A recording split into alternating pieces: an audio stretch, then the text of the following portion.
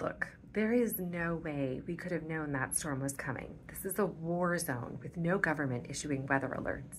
Yes, but there are global weather forecasts. Those probably aren't very accurate in these regions. That's not entirely true. Catalina Jaime and team looked at the 72 most impactful disaster events in conflict affected countries and found that more than 75% of them were forecasted by these global models.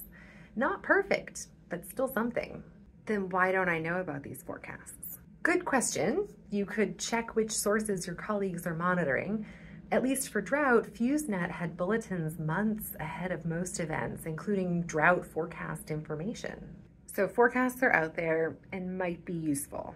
Exactly. It's less about whether forecasts exist and more about whether they are skillful, whether they are communicated, and whether they are useful.